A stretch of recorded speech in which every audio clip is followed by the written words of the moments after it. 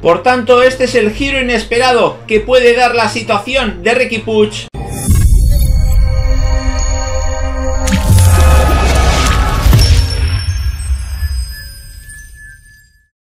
Hola de nuevo gente, ¿cómo estáis? Bienvenidos a un nuevo vídeo de Objetivo Gol. Vamos con la última hora del Barcelona. Sin más dilación, vamos con la primera noticia y vamos a ver cómo la situación de Ricky Puig puede cambiar en esta recta final de temporada. Después de jugar ante el Betis por primera vez desde el 13 de marzo, Ricky Puig podría tener ante el Celta, próximo rival en la Liga de Barça, una nueva oportunidad como titular. No sale de inicio desde el 5 de enero, cuando lo hizo ante el Linés en la Copa del Rey. En el Benito Villamarín, el cuadro azulgrana selló su presencia en la Champions League del próximo curso, pero se quedó para la siguiente temporada sin Sergio Busquets, que vio una tarjeta amarilla que le conlleva suspensión y que le hará estar fuera. Además de Busic, Xavi Hernández tiene la duda de Frankie de Jong que arrastra molestias y con el objetivo de estar en la Liga de Campeones conseguido, podría darle descanso para que no se agraven dichas dolencias. A eso hay que añadirle que Nico González está ausente por lesión. Con este contexto, Ricky Puig podría ser de la partida en el Camp Nou el martes, cuando visiten los chicos de Coudet al Barcelona. Pese que esta sería la opción más esperada, se especula desde hace fechas que Xavi quiere probar a Eric García en la posición de pivote. Por tanto, este es el giro inesperado que puede dar la situación de Ricky Puig, vamos a hablar ahora de otro de los canteranos del Barcelona,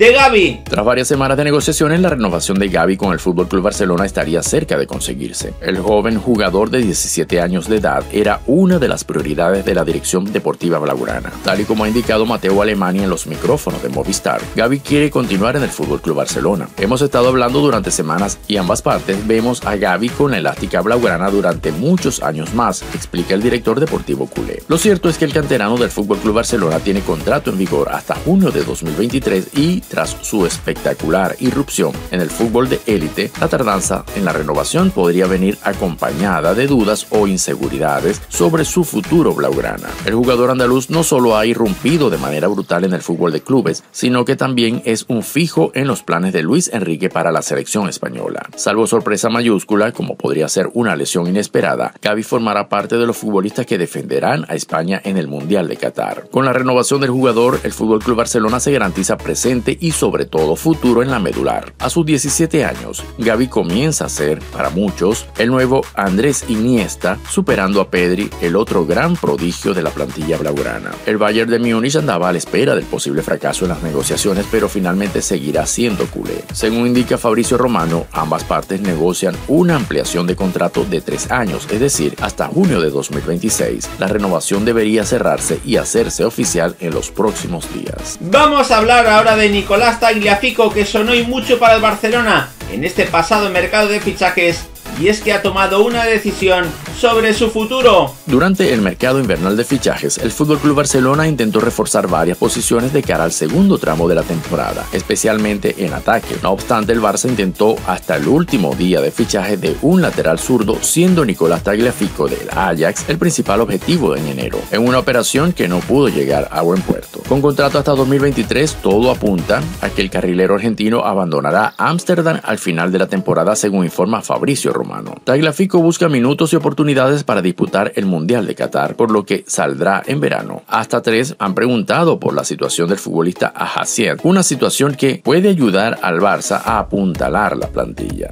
Vamos a hablar ahora del gran lío que tiene Xavi Hernández en el centro del campo culé. El FC Barcelona acabó su partido contra el Celta de Vigo con una victoria clave 1-2, pero con una mala noticia. Sergio Busquets vio la cartulina amarilla y en la próxima jornada tendrá que cumplir sanción, por lo que se quedará fuera de la convocatoria. Frankie de Jong, por otra parte, terminó el partido con molestias y será duda. Busi, a sus 33 años, es un jugador indiscutible para Xavi Hernández y esta temporada lo ha jugado prácticamente todo. Acumula 4.270 minutos de acción repartidos en 49 partidos, siendo titular en la mayoría de ellos. El de Badía vio la cartulina amarilla pasada la hora de partido y en el acta arbitral. Mateo Laos apuntó que en el minuto 63 el jugador 5 Busquets Burgos Sergio fue amonestado por el siguiente motivo, derribar a un contrario evitando su avance. Así pues, contra el Celta de Vigo no estarán disponibles y provocará que el entrenador de Terraza tenga que revolucionar su centro del campo para la final en el Camp Nou. Otra posible baja será Frankie de Jong, quien terminó el choque con molestias musculares. Habrá que estar pendientes de si puede entrenar este lunes, pero de no hacerlo será una auténtica pesadilla para Xavi, considerando que Nico y Pedri González no estarán disponibles y la única opción que quedaría sería Gaby y Ricky Push para la medular. En el caso de que el centrocampista neerlandés se recupere a tiempo y entre en la convocatoria contra el Celta de Vigo, aparecerá como pivote defensivo,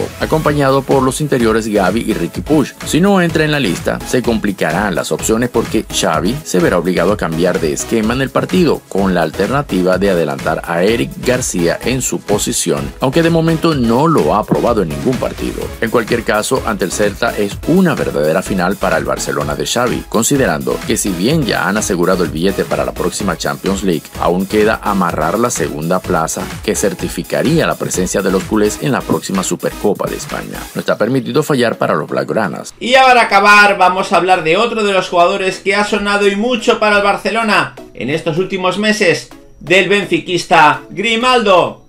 Alex Grimaldo ha sido una de las escasas notas positivas del Benfica en la 2021-22. El lateral formado en el FC Barcelona suma 6 goles y 9 asistencias en 48 partidos, los cuales han sido insuficientes para ayudar a las Águilas a ganar algún título. Tras consumarse la tercera temporada en blanco para el club de Lisboa, el defensor español hizo una dura autocrítica y reclamó a la directiva hacer los cambios necesarios para armar una plantilla competitiva de cara a la 2022-2023. Esto no puede continuar así son tres años sin títulos. En casi siete años aquí conseguí nueve títulos y en los últimos tres ninguno. Es una decepción, manifestó Grimaldo al canal del club después de caer ante el Porto el sábado 0-1.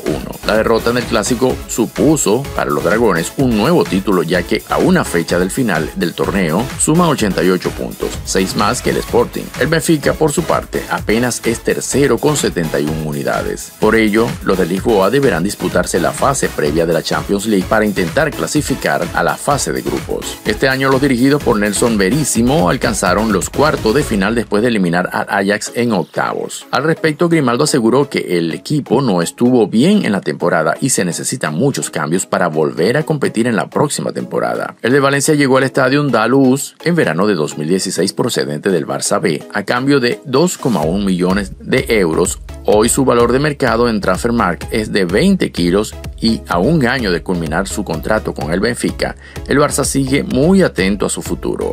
Ante la negativa de los lusos a negociar, el club intentará ficharle gratis el próximo verano, con lo cual se fichará a un reemplazo de garantía para Jordi Alba. Más allá de la autocrítica por la mala temporada del Benfica, Grimaldo también criticó el arbitraje del partido ante el Porto. Para el lateral zurdo, el tanto de Darwin Núñez en el sexto minuto del añadido no pareció offside.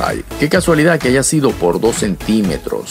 La verdad es que hemos perdido muchos puntos por causas externas y este escudo de Benfica merece un respeto que no hemos tenido. Estamos hartos de lo que ha pasado durante la temporada y esto debe acabar algún día, sentenció el defensor. Lo de Lisboa culminará la temporada el próximo domingo visitando al Pacos de Ferreira.